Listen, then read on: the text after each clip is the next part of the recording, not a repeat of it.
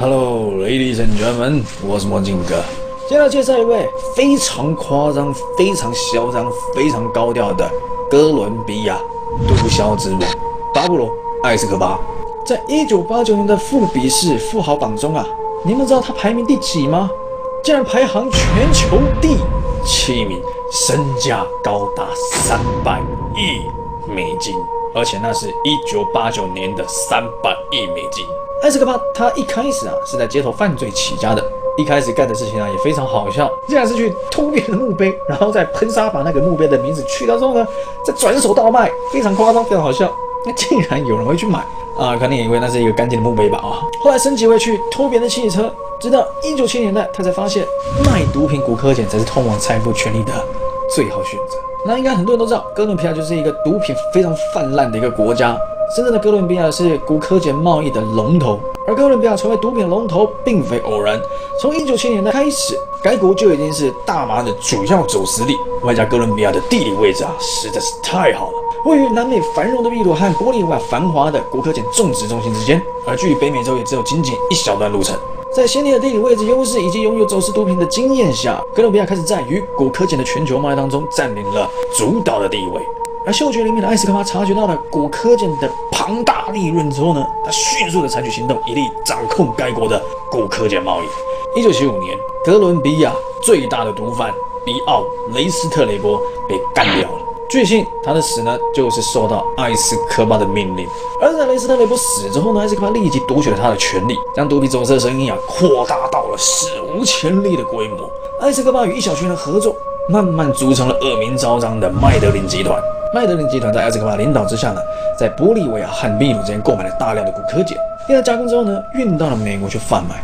当时，在毒品集市之下，垄断了美国古柯碱走私量的八十，非常非常之夸张。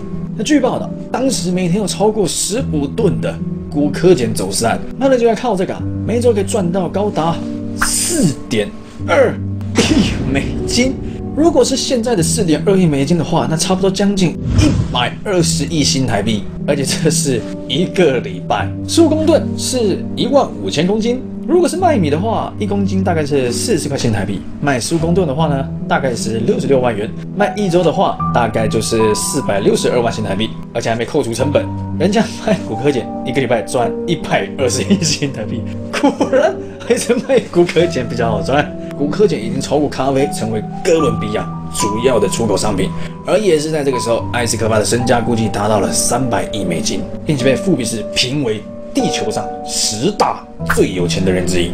而因为毒品交易都是使用现金，而艾斯科巴为了运送这些现金啊，特别买了一台里尔喷射机来运送。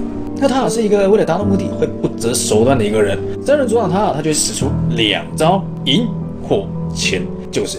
乖乖收钱，take my money and shut up，不然就是乖乖被我给。乖乖收钱，我吃子弹，你自己选。通常情况下，责任阻挡他就使出金钱攻击去贿赂对方。如果送钱行不通的话，软的不吃，你要吃硬的是吧？他就派出杀手把他给。而尽管艾斯科巴是一名知名的犯罪者，但是啊，他有一个嚣张狂妄的梦想，就是 他想要选总统。他一生的愿望就是成为哥伦比亚总统，经常花费数百万去建学校、去建体育馆、去建教堂，也为平民盖设公寓。他甚至呢还买下了一支足球队。他做了这么多，他的大内宣有用吗？你们觉得哥伦比亚人民会吃到这一套吗？各位，扯的来了，真管用，非常有效。尽管在国际上来说，他也是个坏到不行的大坏蛋。但是对哥伦比亚的人民来说，却是正面向上的人物。他逐渐成为了一个人民爱戴的伟大人物，人们都把他看作是一个干了大事之后回报给社会的自己人。他是一个劫富济贫的罗宾汉。罗宾汉是谁呢？怕有人不知道，简短说一下，他是英国民间传说中的侠盗，武艺出众，机智勇敢，非常会射，不，呃，非常会射。而且呢，他非常仇视观念和教士，是一位劫富济贫、行侠仗义的英雄。不过，他要选总统这条路怎么可能那么顺利呢？因为毒枭在从政的路上肯定是坑坑洞洞，不过对他来说这些都不是问题。路不平，那我就把它填平。怎么填呢？他的策略啊依然是金属攻击、引火签。这意味着，如果有一个人要阻挡我，要么你 take my money，要么你 kiss 以后啊啦，在朝政期间呢，他试图贿赂其他政客，以使政策受到其他人的支持。如果贿赂被拒绝，他就把他给。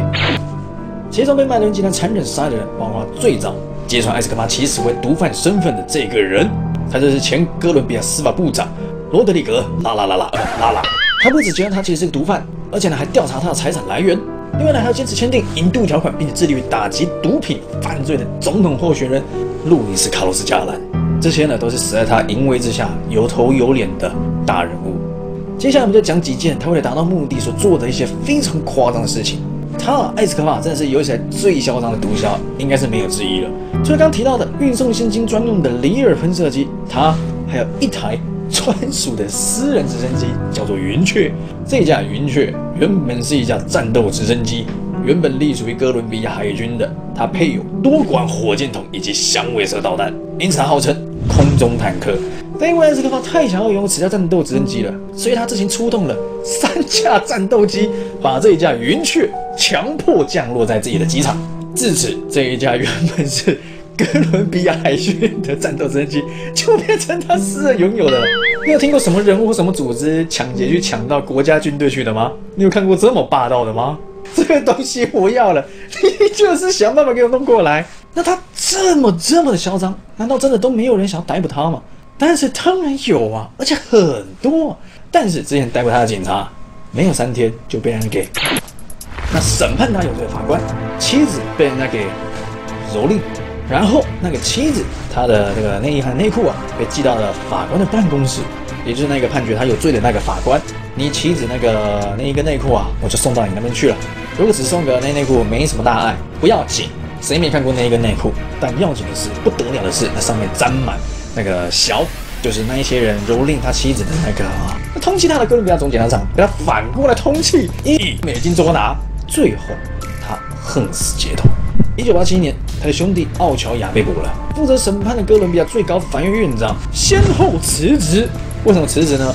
看到太多人尸骨未寒躺在那边了，没有人敢再动他了，搞到最后司法部长只好取消他的逮捕令，直到后来。哥伦比亚总检察的位置啊，甚至成为了烫手山芋，没人敢坐。因为要坐上这个位置，就必须处理艾斯科巴的问题。那艾斯科巴没有人敢处理，所以这个位置就悬空在那里好一阵子。简单来说，艾斯科巴会谋杀任何阻挠他的人。据统计，死在他淫威之下的冤魂啊，人数超过了四千人。在四千之中啊，包括了。两百名法官，只要敢弄他的法官就被宰了。法官啊，各位，法官人数已经不多了，而把他给弄掉的法官就高达两百人。另外还有一千名警察、记者、政府官员以及庶民，占了剩下的两千多名。后来在一九九一年六月，艾斯科巴终于向哥伦比亚政府自首了。但是他因为害怕引渡条款把他送到美国去制裁，所以他有个自首的条件，就是呢，我要住在我自己。打造的监狱里面，你们可能想说啊，我是一个盖格监狱，我自己住应该没什么。但让各位无法想象的是啊，这个监狱呢，可能比你家还要豪华个几百万倍吧。跟他的监狱比较起来，你家才像监狱的那一种。他的豪华监狱呢，被称为 La Cathedral 大教堂。这个名为监狱，实为超级豪华大教堂的建筑物里头呢，有瀑布，有足球场，有酒吧，还有按摩浴缸。而这监狱里面的雇员呢，也全数由艾斯科巴挑选出来的。他监狱里头呢，仍然经营着他的毒品帝国。艾斯科巴会通过电话下达命令，而这种情况啊，一直持续了一整年。各位听到这边，你想住监狱还是住你家呢？如果你选择的是住监狱的话，那墨镜哥只好赶快打电话 报警，把你抓起来了。到时候你梦幻中的监狱是长这样子，结果住在监狱呢，实际上这样子就哭了。当哥伦比亚政府终于发现艾斯科巴在他监狱头依然在梦人时啊，他们决定把艾斯科巴关进真正的监狱里头当中。但艾斯科巴担心自己进入真正的监狱之后呢，可能会被引渡到美国去，因此他就逃脱起来，并且躲藏起来了。但这次哥伦比亚政府不打算放过他了，因此联合美国政府下令进行大规模的搜捕。到一九九六年底，有两大组织在搜寻他，其中一个是经过美国训练的特殊哥伦比亚的特遣部队，另外一个呢是由艾斯帕受害者的家属所组成的。还记得吗？他背负着的冤魂数量高达四千名。四千名的家属联合起来，那得有多少人？而且呢，艾斯克巴主要的竞争对手卡利卡特尔还去资助那些复仇者联盟。此时，艾斯克巴的手下呢，已经一个个被干掉了，毒品帝国濒临瓦解。艾斯克巴也一直在流传逃亡，直到一九九三年的十二月二号，艾斯克巴和儿子通电话时，终于被警方成功的定位，搜索队迅速展开行动，在枪林弹雨中击毙这一代毒王。警察们甚至在枪毙艾斯科巴的屋顶上啊，跟他的尸体拍了合照。艾斯科巴的儿子在近年接受采访时说：“我父亲不是一个需要被模仿的人，他向所有人展示了我们在社会上绝对不应该成为的样子，因为他的行为只会让自我毁灭以及丧失所有价值观。”好了，其实关于这个人啊，还有很多可以说，不过碍于影片时间关系，我们今天就只好介绍到这边了。如果想去听更多的话，千万不要忘记订阅魔镜的 YouTube 频道，并打开铃铛，小小铃铛，收到真的。See you tomorrow，拜拜。